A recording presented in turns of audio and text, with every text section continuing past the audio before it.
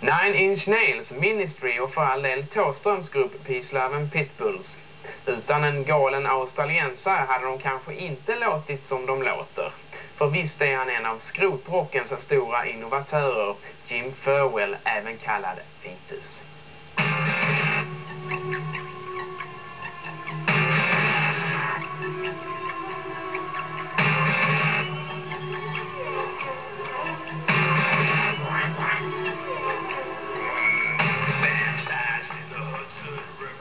I used to be kind of bitter about some of the obvious rip-offs that uh, I think most of the artists that you were, whose name you were about to drop, uh, they'll acknowledge, acknowledge their debt to me, and if they keep writing the checks, I don't mind.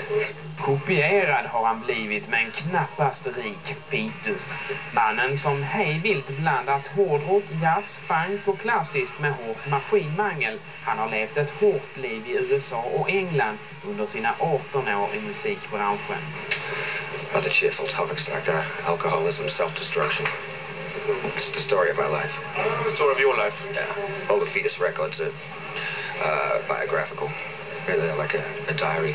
Förra årets Gash är liksom alla skivor Fetus gjort under alla sina 50-talet olika namn en djupdykning i ett lika vilt som tragiskt leverne.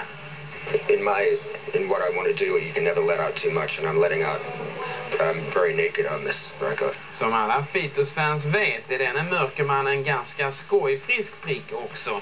Jim Furwell släpper sällan en platta utan slagkraftig poesi som till exempel Give me a home where the dinosaurs can roam eller A woman's place is on my face.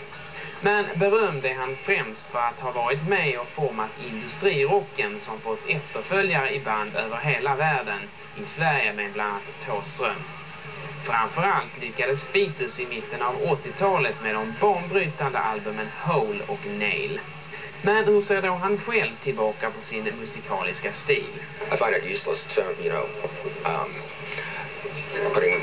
music really redundant. Um, I think I create fetus music. I mean, you can listen to any one of my songs. One song might be pure big band. One song might be kind of punk rock with big band. One song might be world music and power chords and brass and strings. And then into pure noise, like all within the same song. Uh, you know, I like to think I'm creating new forms. Um, so it'll take a few more years for people to be able to rip that off. You know.